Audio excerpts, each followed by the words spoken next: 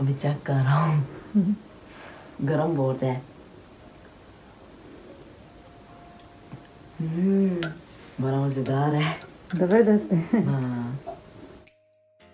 असलकुम आप देख रहे हैं बाइट ज़िला यूट्यूब चैनल। आज हम बनाने जा रहे हैं chicken hot and sour soup. ये मैंने आज यखनी के साथ तैयार किया है। पहले मैंने आपके साथ एक fast chicken soup recipe share की है। अगर आपने वो नहीं देखी तो उसका लिंक मैं शेयर कर दूँगी, आप वो देख सकते हैं।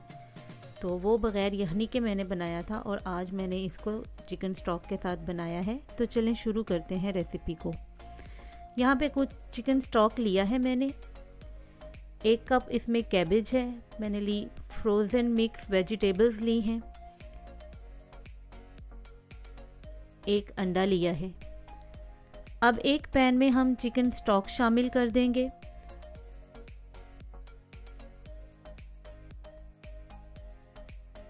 और ये जो वेजिटेबल्स हैं, इनको मैंने क्रश कर लिया था तो ये भी अब हम यखनी में शामिल कर देंगे। चिकन के रीशे कर लिए हैं मैंने, वो भी शामिल कर देंगे। सिरका एक खाने का चम्मच शामिल कर देंगे।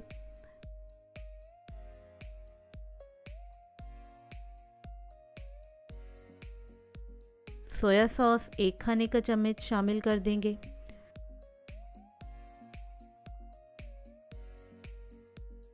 रेड चिल्ली सॉस डाल देंगे एक खाने का चम्मच।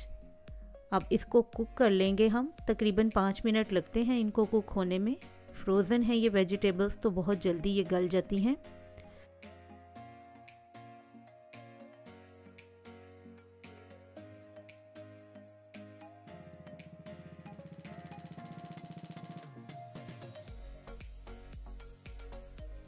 अब इसमें चिकन पाउडर डालेंगे एक टीस्पून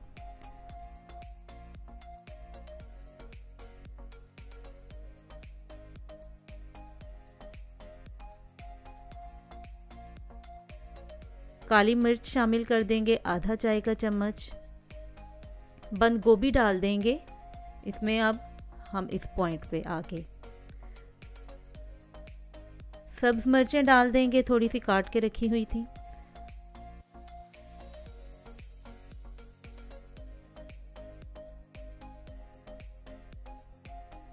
और नमक हम अपने टेस्ट के हिसाब से या एक चाय का चम्मच शामिल कर देंगे।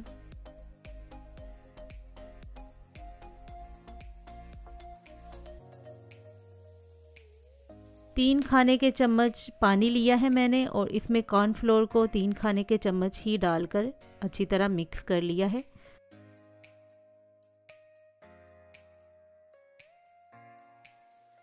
अब अब इसको हम सूप में शामिल करेंगे स्लोली स्लोली आहिस्ता आहिस्ता शामिल करेंगे, ताकि लम्स ना बने और अच्छी तरह ये थिक हो जाए। तो कॉर्नफ्लोर डालने के बाद थोड़ा सा पकाएँगे इसको।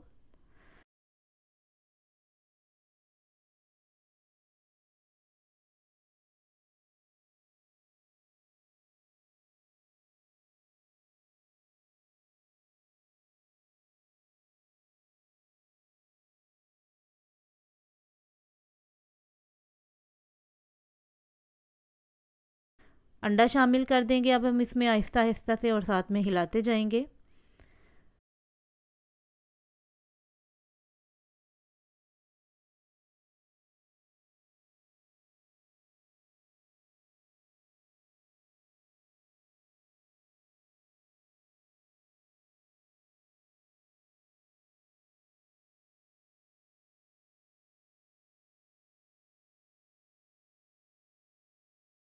आधा चम्मच इसमें चिल्ली सॉस मैंने डाला है।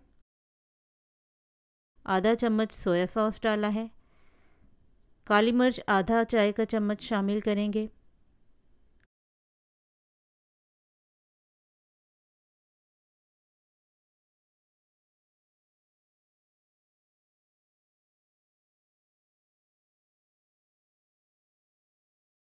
अब इसमें कटा हुआ सब्ज़ धनिया शामिल कर देंगे।